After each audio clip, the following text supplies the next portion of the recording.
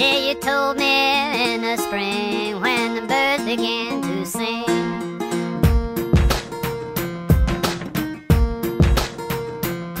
We're here with Mike Mihalski from Sons of Liberty Gunworks.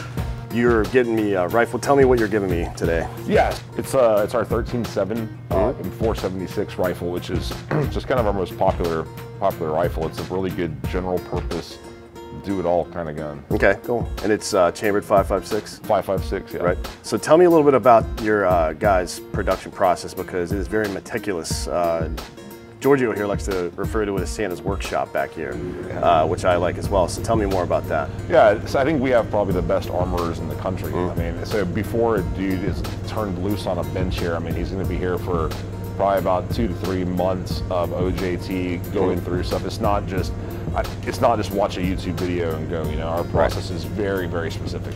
So uh, tell me what's different about your place from everybody else. There's a lot of gun manufacturers out there. Tell me about yours and why, what sets it apart from everybody else. There's a very short list of companies actually building endurance rifles to a very specific spec. Most of the stuff you see out here is going to be built like margin driven as opposed to performance driven, right?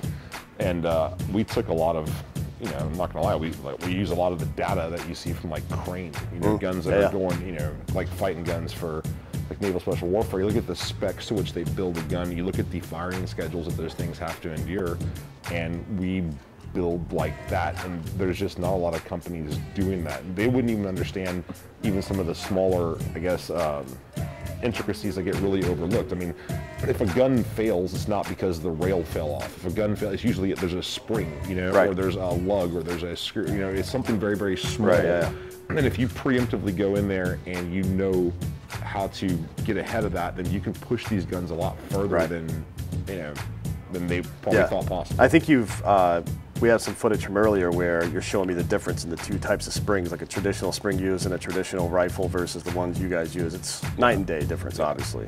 Yeah. And uh, you know, on the assembly lines back here, you can see the guys. Uh, there's they have levels on things. You know, it's everything is very finely tuned, which is why I think you guys have, at least so far as I know, the best gun manufacturing uh, organization, at least in Texas, right? Uh, Maybe in yeah, the country. I, I would, yeah, I would put us up against anywhere. I mean, if you're talking about performance-driven guns, I think our guns would, would, I, I would put them against anybody, anytime, Right. anywhere. And uh, again, the the reason why you see all that, the reason that you've seen some of our process, Mm-hmm. it's because every one of them is the same. Right. Whether you bought a gun a year from now, or you bought a gun, you know, six months from now, or six months ago, whatever. I mean, they're going to be the same. And the way you get predictability of performances is to do everything the same. Right, and that's half of the equation. The other half is something that you take pretty seriously, which is if somebody stumbles across your weapon in the apocalypse, you want to be able to pick it up and operate it and use whatever tools are available, right? Yeah.